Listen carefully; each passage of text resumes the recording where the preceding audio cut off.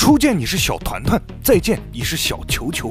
根据科创板日报报道。斗鱼知名主播一条小团团确认被捕，消息一出冲上热搜，而热搜第二的就是 PDD。与此同时，之前因涉嫌开设赌场罪被执行逮捕的斗鱼 CEO 陈少杰已被取保候审。其实早在2017年，斗鱼就已经开始了自己组织赌博的行为，主播会利用办卡或者打赏的方式引导观众进入到奖池，在开奖后再将奖金私发给观众，甚至连斗鱼官方都出台过魔法球文字话术用于指导主。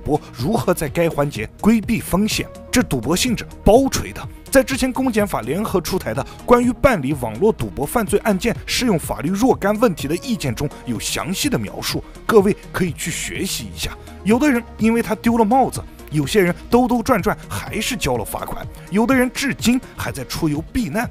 赌博终究是害人害己。